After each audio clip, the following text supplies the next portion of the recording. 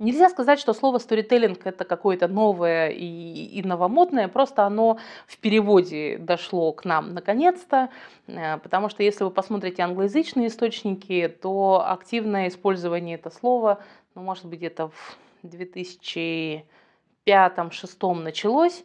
А, и сторителлинг как часть работы HR, сторителлинг в образовании, сторителлинг в медиа, сторителлинг в а, бизнесе, в маркетинге, в рекламе. То есть вот э, это достаточно такой устойчивый тренд. На чем он основан? Во многом это связано с эффектом перенасыщения а, информационного мира всякими разными, типа, короткими новостями. Вот такой факт. Вот смотрите, у нас есть а, такой новый продукт, или а, вот посмотрите, что-то случилось, ой, там посмотрите, комета пролетела мимо. То есть вот перенасыщение короткими, разрозненными, не связанными друг с другами, э, друг, Произошло перенасыщение короткими новостями, а, вырванными из контекста, а, короткими рекламными сообщениями, вот этими вечными «а, купи меня, купи меня», «супер я самый классный» и так далее. А, вот слишком много мы произвели вот этих вот разрозненных деталек мозаики. И так как произ... вот маятник качнулся в сторону э, короткой журналистики и коротких э, рекламных сообщений, естественно, маятник должен был качнуться и в обратную сторону, что и произошло. Сторителлинг – это э, прием, это подход, когда вы свое рекламное сообщение, свою мысль Э, внутри образовательного курса или а, свою мысль, которую хотите донести до мозга сотрудников, облекаете не в лозунг и не в слоган и не в плакат, а облекаете в некую связанную историю, которая, э, у которой есть герой, в котором есть определенный сюжет, в котором есть э, либо человек подводится какой-то морали, либо эта мораль открыто автором а, произносится. То есть люди вспомнили, что история где есть действующий герой, где есть э, некая завязка, кульминация, развязка, она запоминается человеком и запоминается гораздо лучше, чем слоган. В случае, когда у вас слишком много вокруг слоганов, рассказываете истории, и вы этим будете отличаться. А, в образовании это очень хорошо э, работает, потому что если вы накидаете в классе или в студенческой аудитории, накидаете просто голых фактов, которые между собой не связаны вот каким-то определенным сюжетом, они очень быстро забываются и забываются еще не то чтобы после зачета, а еще до зачета, ну, так как это разрозненные, не включенные в контекст а, маленькие элементы. Как только вы из этого делаете историю, человек запоминает и саму логику рассказывания, тем самым запоминает и те факты, которые были там в, внутри в этой истории.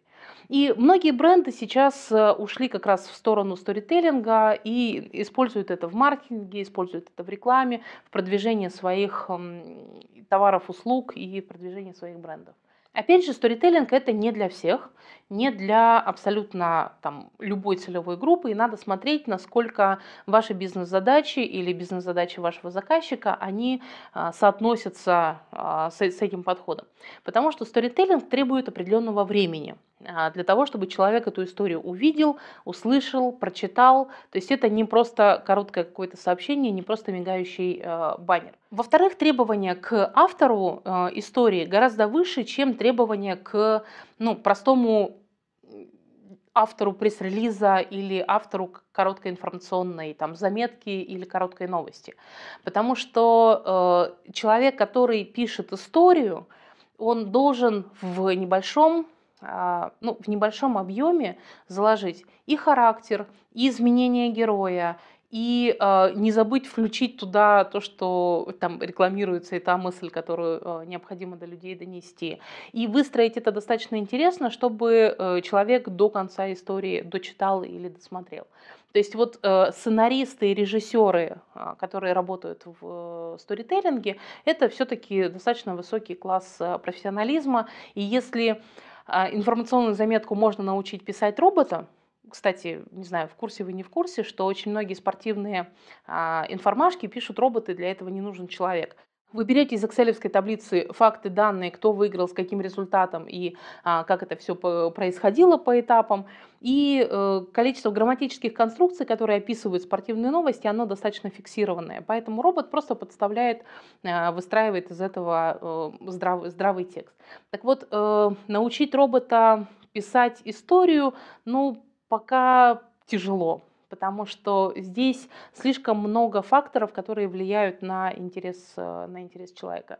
Но э, хорошие истории запоминаются, хорошие истории передаются из уст в уста, и э, в, если вы делаете какой-то видеоролик, например, в формате сторителлинга, и он, он прикольный. Мне не стыдно этим роликом, даже если он рекламный, поделиться с, со своими друзьями. В том случае, когда э, короткую информашку я с гораздо меньшим интересом, с гораздо меньшей готовностью а, ну, могу, могу распространять.